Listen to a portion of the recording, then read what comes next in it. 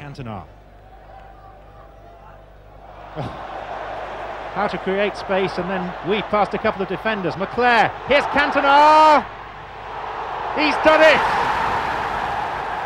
That is magnificent by Cantona. And after all his problems and his lack of form and the criticism that's come his way, there is the perfect riposte.